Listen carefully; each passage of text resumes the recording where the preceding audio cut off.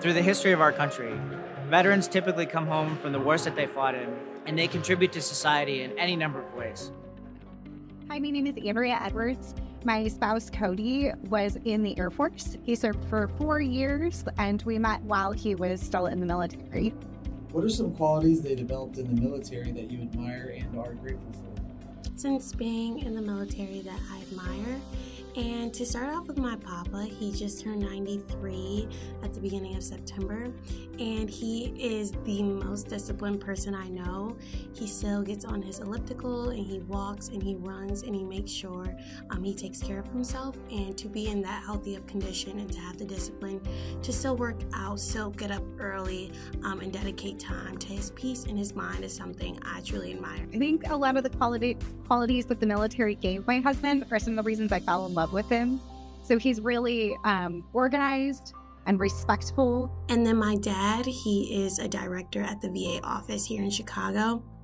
And a huge thing I learned from him is that in the military, typically you have to be very timely, uh, very put together, um, and just sleek, making sure that you always look up to par. He's diligent on being on time for things, and um, he's just really good at thinking of others and not putting himself first because he always had to think in terms of a unit. How has their service influenced your family's outlook on the importance of supporting veterans?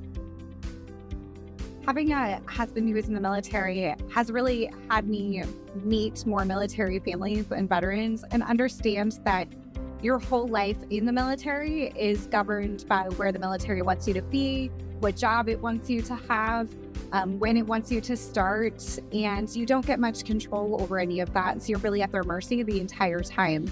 And that goes for your children and your spouse as well. They um, have to switch schools a lot, they may have to switch jobs often. So, after the military, that can be a big adjustment for the entire family, but especially for the person who served in the military, that can be a huge adjustment on um, if they had any injuries afterwards, if they have any mental illness from the military, like PTSD. And for many people, they struggle to find jobs after the military. They have a hard time figuring out how to convert their experience of the military into a um, job in the civilian world. And so that can be a really big challenge that these families are facing. And to make sure that you're never judging anybody and then everybody has a story. So always be compassionate and loving towards others. Um, so shout out to our veterans. Thank you so much for all that you do. Hey, friends, it's Nick Black. Coming to you out of Chicago. I am an LSS enterprise sales leader. What inspired you to serve in the military? It was something I always wanted to do. Both of my grandfathers were in the service, and I always admired that. I joined the Marine Corps because both of my parents were Chicago police officers. They're now both retired, but growing up, that's all I saw. Chicago police everywhere, and um, that's what I wanted to be. And so I joined the Marine Corps to um, well position myself when I had come out. Can you share a memorable moment from your time in the service? There are lots, so it's hard to boil it down to one. The best part is the people. I served with some amazing Marines and made lifelong friendships in my four years. So, my most memorable was being frocked to captain. And being frocked to captain means they allow you to pin on and wear the captain insignia um, while your date catches up to you to when you're actually promoted.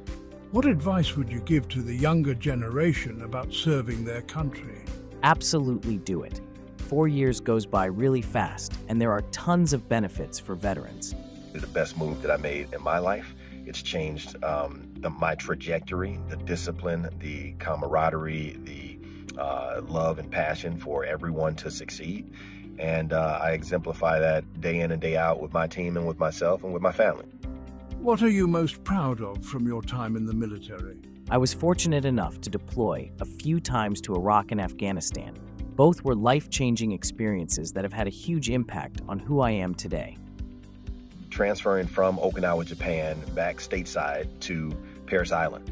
And um, at Parris Island, I was a series commander, and I interviewed for company commander. I was a first lieutenant interviewing for a company commander role, which means I would be responsible for 400 Marines, men and women, their lives 24 7. And it was just amazing. 400 Marines every single day, Friday, Saturday, Sunday. This is 24 7.